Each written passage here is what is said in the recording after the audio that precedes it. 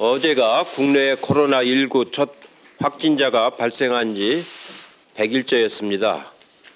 지난 100일은 사상 초유의 국난기였던 동시에 위기를 극복하는 우리의 저력을 확인하는 시간이었습니다. 신속 정확한 한국경 방역 체계와 국민들의 성숙한 시민의식은 코로나 극복의 양날개였습니다. 한국은 이미 전 세계 코로나19 대응의 모범국이 되고 있습니다.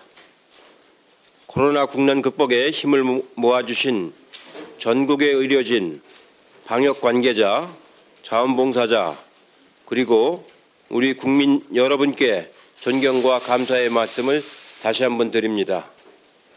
그러나 전 세계 확진자는 300만 명을 넘어서고 있으며 코로나 발, 경제 위기가 심화되고 있습니다. 치료제와 백신이 개발될 때까지 코로나19 팬데믹은 끝나지 않을 것입니다. 아울러 코로나 이후의 세계는 그 이전 세계와 다른 모습일 것입니다. 얼마 전 통신사 자료를 보도한 걸 보니까 이동거리가 전화보 이동 전화기 이동거리가 반으로 줄었다고 합니다. 그만큼 사회활동이 축소되고 소비가 축소됐다는 것을 의미합니다.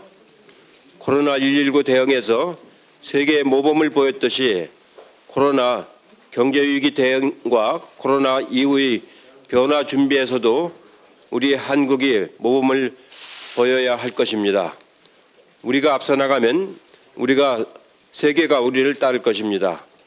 민주당은 총선에서 약속드린 대로 코로나 국난 완전 극복을 제일 목표로 삼아 앞으로도 최선을 다하도록 하겠습니다. 전 국민 긴급 재난지원금 지급을 위한 2차 추경이 다행히 오늘 본회에서 처리될 예정입니다. 국민들께서 총선에서 약속을 지키게 되었음을 말씀드릴 수 있습니다. 여론조사에 의하면 은 약 17% 내지 20%에 가까운 분들이 코로나 재난기금을 수령하지 않고 기부를 한다던가 아니면 더 어려운 분들을 위해서 기부하겠다는 그런 의사를 밝히고 있다고 합니다. 이미 경기도 등지에서 자영업자들이 재난지원금 덕분에 매상이 회복되고 있다는 소식이 들려오고 있습니다. 정부의 긴급 재난지원금은 자영업자와 소상공인, 서민들에게 코로나19 19로 막힌 숨통을 터주는 역할을 하게 될 것입니다. 그러나 긴급재난지원금은 일시적인 비방, 비상처방일 뿐 경제 위기에 대응하는 근본 대책은 아닙니다. 산업 기반을 보호하고 특히 일자리를 지켜내야만 코로나 이후에 빠른 경제 활력 회복이 가능합니다.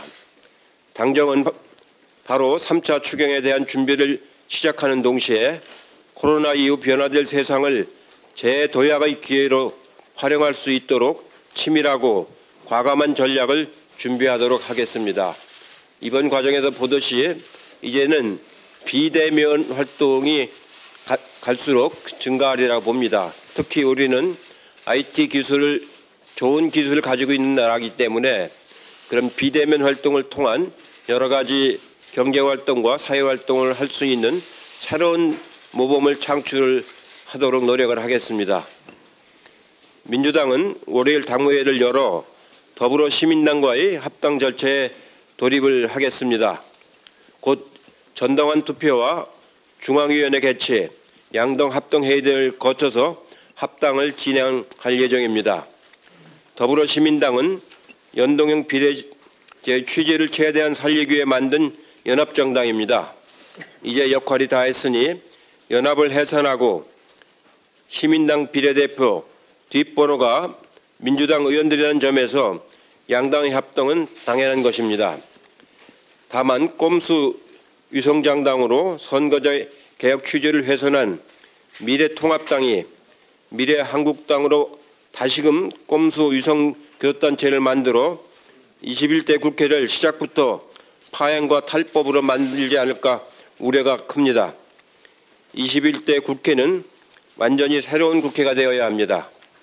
만약 우려와 같은 일이 벌어진다면 민주당은 21대 국회를 정상적으로 운영하기 위한 특단의 대응을 취하지 않을 수가 없습니다. 그런 일이 없기를 진심으로 바랍니다. 이상입니다.